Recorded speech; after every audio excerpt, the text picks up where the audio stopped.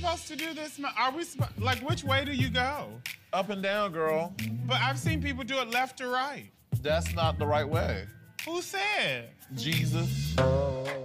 You know, the crux of the issue here is what we mean by accept. Is accepting redefining sin in order to make people feel better about themselves? Is accepting compromising what the Bible says in order to make people feel good? You see, I believe the Bible has called us to love everyone, but that doesn't mean that God approves of every behavior. He's made that clear. Regardless of your temptation, you are welcome at the table. We shouldn't be casting anyone out just because they have a different struggle than us. The problem is, is that people are trying to twist what the Bible says in order to affirm of certain behaviors that God strictly condemns. Now, this isn't a case of me saying, oh, you're so bad, look how horrible you are, I'm such a good guy. No, of course not. We've all sinned, we've all fallen short. I can see my sin, it is evident to me, and I need to repent of that. But to approach God and say, I'm perfect just as I am, would be a lie. God loves and accepts, but he also doesn't affirm every kind of behavior. Some people may see that as hate, but without truth, there is no love. Follow for more Christ centered content.